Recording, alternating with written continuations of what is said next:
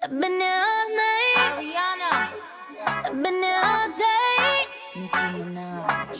And boy, you got me walking side to side. I'm talking to you. Sila, a receptividade das pessoas tem sido o máximo. É loucura este ano. Este ano, mais do que nunca, não sei o que é que se passa em Beauty, mas está completamente cheia. E a HE de Portugal só tem a agradecer. Claro, lógico que sim, porque nós queremos cada vez mais visitantes e mais pessoas a virem ter connosco, não é? A conhecerem a marca, a conhecerem a feira. O crescimento da feira é o crescimento de todas as marcas, portanto acaba por ser muito bom, sim. Para claro. quem não conhece a marca HN Portugal, o que é que tu podes dizer?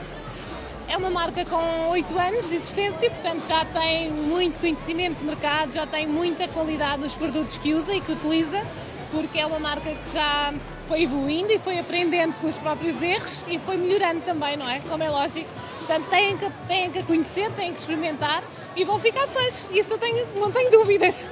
Mas que tipo de produtos é que vocês oferecem ao consumidor comum e também aos profissionais? Uh, nós trabalhamos mais especificamente para profissionais da área. Portanto, nós temos os, uh, todas as linhas de gel, toda a linha de acrílico também, uh, pestanas profissionais para, para quem é lashes designer.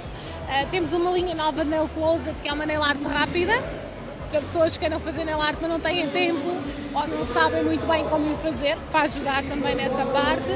Temos muita nail art nova, coisas novas também. Portanto, temos sempre inovações, temos sempre coisas novas a acontecer.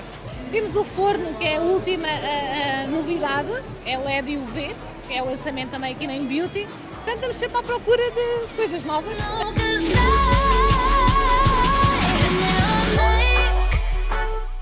Mais-valia para todas as marcas estarem aqui presentes num evento como este? É, é uma mais-valia. É porque acabamos por uh, conhecer também o que há no mercado, a, própria marca acaba por ver a concorrência, acaba por ver o que é que está mais em voga.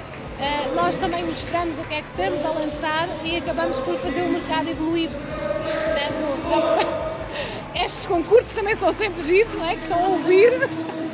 Acaba por ser muito interessante ver este espetáculo todo, é muito bom.